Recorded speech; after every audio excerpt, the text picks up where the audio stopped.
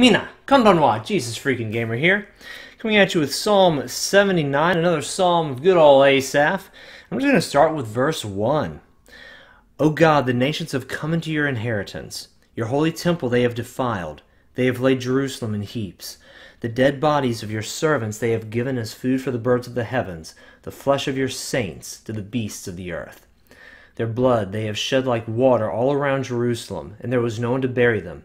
We have become a reproach to our neighbors, a scorn and derision to those who are around us. How long, Lord? Will you be angry forever?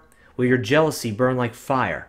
Pour out your wrath on the nations that do not know you, and on the kingdoms that do not call on your name, for they have devoured Jacob and laid waste his dwelling place. O do not remember your former iniquities against us.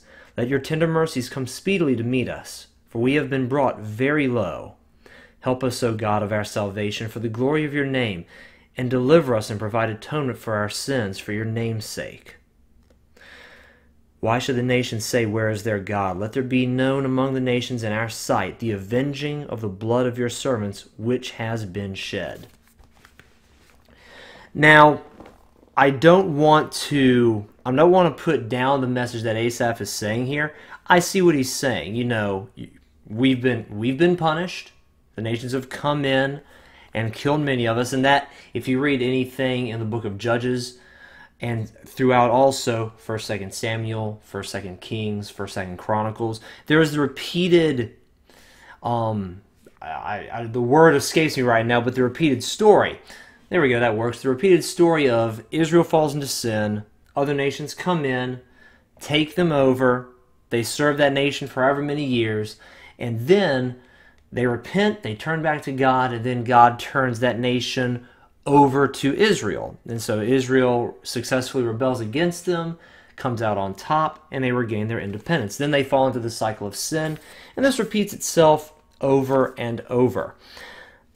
What, what the first thing that I saw, the first thing that I saw when I read this was God, please forgive us and turn all this vengeance and wrath back on our enemies and help us to destroy them. Forgive us and pour out your wrath on those nations. That's the first thing I saw.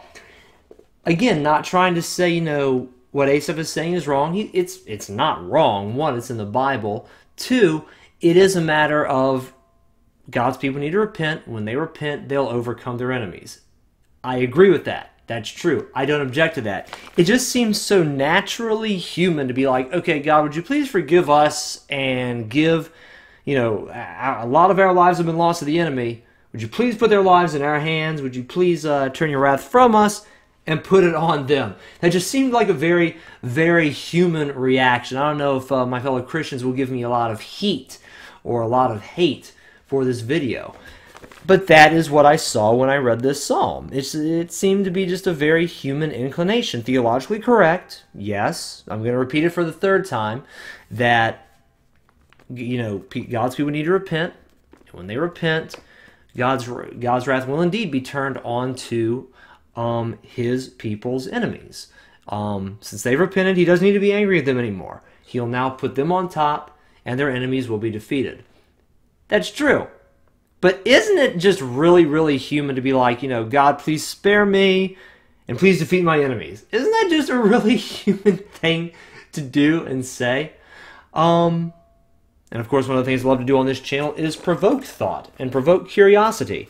Um, so let me know what you think down in the comments below, and let me know what you think of what I got from this psalm, my initial impression of this psalm. I've already said three times, theologically, I have no issue with it. I see what Asaph is saying. But the humanness of it, the humanness of what Asaph is saying, is very, very seeable. And I think it would also be an understatement to say that the Bible reveals the humanness of its human characters on a regular basis.